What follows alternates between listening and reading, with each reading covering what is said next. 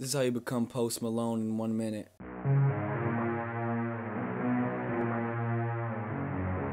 Get the synthesizer in Logic and modify it until it sounds like Post Malone. EQ out the highs and the lows.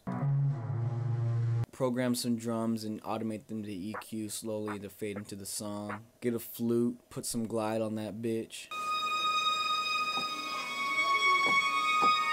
You have the melody. Program some drums. 808s. Bass line to kind of fill out the low side of the song. There's a little synth that comes in later, so we'll just throw that in. I also forgot to mention that I added some chords in there too. There's some little sound effects, a little hey, like a stomp. I forgot to mention, just shit reverb all over this fucking track. There, that's how you become Post Malone in one minute. If you like this video, then like it, or don't if you like that, and then subscribe if you want to see more.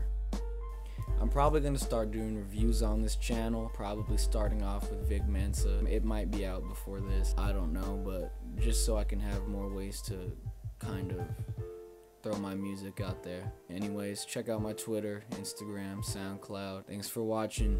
See ya.